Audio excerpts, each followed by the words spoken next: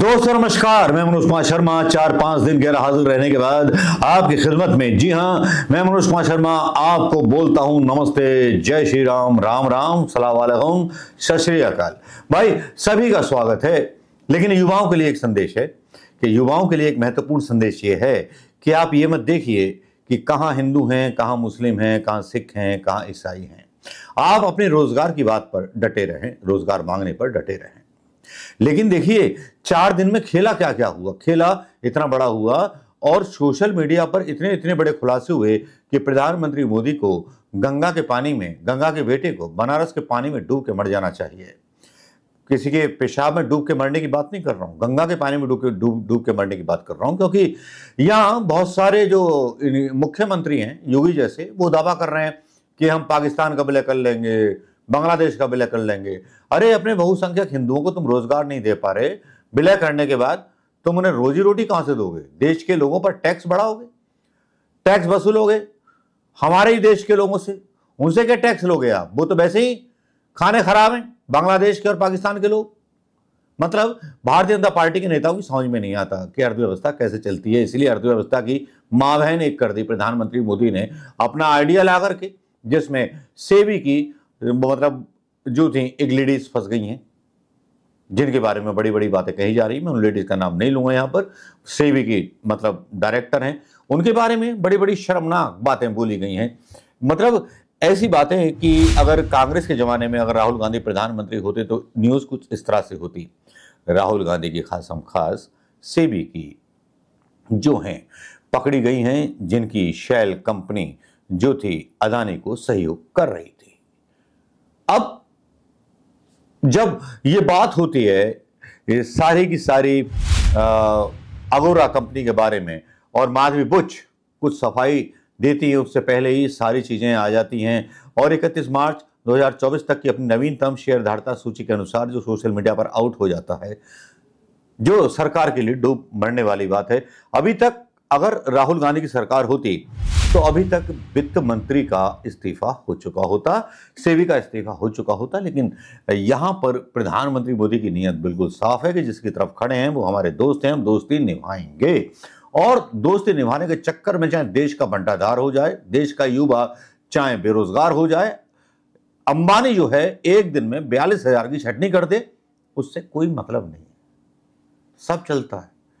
चंगा सी क्योंकि कानून भी नंगा सी, पब्लिक भी नंगा सी और न्यूज़ चैनल भी नंगा सी। सबको बस में लेकर के किस तरह से देश में मतलब बनाना है हवा, वो प्रधानमंत्री मोदी को बहुत अच्छी तरह से पता है। भ्रष्टाचार से कोई फ़र्क नहीं पड़ता। भ्रष्टाचार की आदत हिंदुस्तान की जनता को भी पड़ चुकी है, सरकार को भी पड़ चुकी है। पिछली बार सरकार की गलती ये रही कि two G three G scam के घोटालों की जाँच के आदेश दिए और अपने मंत्रियों को ही जेल में डाल दिया था। लेकिन प्रधानमंत्री मोदी के यहाँ कोई इस्तीफे नहीं होते, चाहे वो सेवी की हो या वित्त मंत्री निर्मला सीतारमन जिन्हें लहसुन पसंद नहीं है। लेकिन यहाँ मैं आपको बता दूँ शेयर मैनिपुलेशन कैसे होता है? बहुत सीधी सी बात है शॉर्ट खबरों में, क्योंकि आज वीडियो थोड़ा सा लंबा होने वाला है। हर्षद मेहता का आपने नाम सुना होगा, उसने क्या किया था? कि वो रेट बढ़ाता था मतलब एक शेयर ही खरीद रहे थे और उसके लिए बैंकों से पैसा ले, ले लिया करता था। उस टाइम कंप्यूटराइजेशन था नहीं। बैंकों से पैसे लिए मुनाफा कमाया बैंकों को पैसा वापस किया। ये एक पत्रकार ने पोल खोल दी। उसी तरह से हिंडनबर्ग ने भी पोल खोल दी। लेकिन पेट में दर्द उठाया भारतीय जनता पार्टी के। आरोप लगे जो थे सेवी पर आरोप लगे अदानी पर लेकिन पेट में दर्द उठा बीजेपी के। तो ये भी बड़ी बात है कि भैया, आपके ऊपर तो कोई आरोप नहीं लगाया, मोदी जी के ऊपर कोई आरोप नहीं लगा। कहने वाले लोग तो ये भी कह रहे हैं कि जो है पैसा सारा मोदी जी का लगा हुआ है, अदानी तो केवल जो है मैनेजर है उनका। अब जितने मुँह, उतनी बातें, हिंदुस्तान है ये, हिंदुस्तान में क्या कह सकते हैं? हिंदुस्तान में इतनी आज़ादी है कि एक धोबी भी सीता माता के ऊपर इल्ज़ाम लगा सकता है। हालाँकि प्रधानमंत्री मोदी के सीता होने में संदेह है।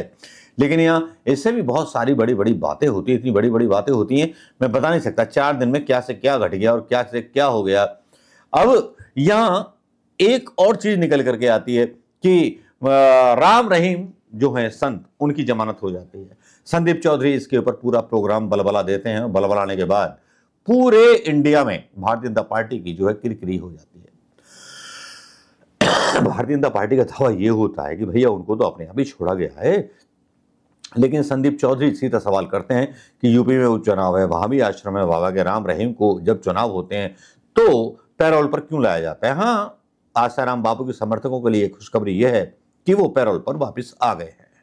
और पैरोल पर वापस आ गए हैं तो अब देखिए कितने संतों का सहारा लेना पड़ रहा है अपनी डूबती हुई सत्ता को बचाने के लिए अपने डूबते हुए साम्राज्य को बचाने के लिए प्रधानमंत्री मोदी जी किस कदर आ, मतलब आ, जा रहे हैं। एक तरफ़ हवाएँ ये भी चल रही हैं, दौड़ रही हैं बांग्लादेश के बारे में। बांग्लादेश के हिंदुओं के बारे में बड़े दर्दनाक बयान किए जा रहे हैं। बात जब बांग्लादेश की आती है, दर्दनाक बयान आते हैं, प्रधानमंत्री मोदी से सवाल पूछे जाते हैं कि सेना कभी भी एक्शन ले सकती है अचानक से। जो है बांग्लादेश के जो शासन प्रमुख हैं, वो हिंदुओं के घरों की और संस्थानों की मतलब चौकसी बढ़ा देते हैं। तो भारतीय जनता पार्टी के लोग कुछ बोलने लगते हैं, देखा मोदी का मतलब सीना कहीं भारतीय सेना आक्रमण ना कर दे, इसलिए चौकसी बढ़ा दी। अरे भाई, बेवकूफ़ हो। वो लोकतांत्रिक सरकार बहाल कर देना चाहते हैं वहाँ पर, और वहाँ पर जो है पाकिस्तान के आईएसआई एजेंडे वाले लोग, और मैं यहाँ का नाम तो नहीं लूँगा, क्योंकि यहाँ जिन गंदे लोगों का नाम अगर मैंने इस वीडियो में ले दिए, ले लिया तो कल तक ये वीडियो महावायरल हो जाएगा, क्योंकि जिनका नाम मैं लेना नहीं चाहता, हालाँकि आप समझ गए होंगे मैं जिनका नाम नहीं लेना चाहता।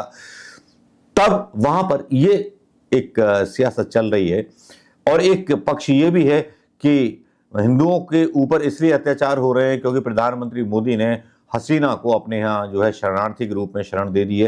हर देश ने मना कर दिया, लेकिन प्रधानमंत्री मोदी जी खुद चाहते थे कि वहाँ हिंदू, मुस्लिम दंगे भड़कें और उसका फ़ायदा चुनाव तक लेकिन देखा ना कितना मास्टर माइंड है यार प्रधानमंत्री मोदी। देखो ना, व्यापारी है खून खून में व्यापार है।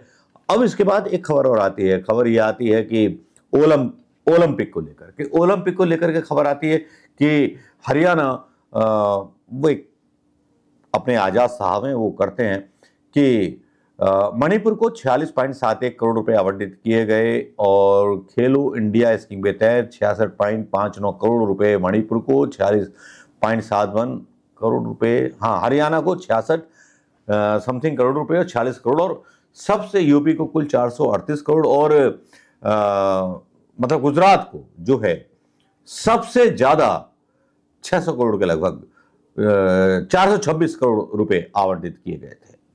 लेकिन यहाँ पर सबसे ज़्यादा जो सूची है पदक लाने वालों की, वो हरियाणा और पंजाब के लोगों लोगों की है, जिनको सबसे कम बजट मुहैया कराया गया था। तो प्रधानमंत्री मोदी के ऊपर सवाल उठने लगे हैं कि 600 करोड़ रुपए 400 करोड़ रुपया आप गुजरात उठा के ले जाते हो, वहाँ से एक भी खिलाड़ी नहीं निकलता। अरे खिलाड़ी की बात छोड़ो, गुजरात का कोई सेना में आपको आदमी नहीं मिलेगा, पुलिस में या किसी सशस्त्र बल में आदमी नहीं मिलेगा। बिज़नेस कम्युनिटी है गुजरात की और प्रधानमंत्री बिज़नेस कम्युनिटी से आते हैं। उन्हें कोई फ़र्क नहीं पड़ता कितने हिंदू मारे जाएँगे, कितने बलात्कार हो जाएँगे।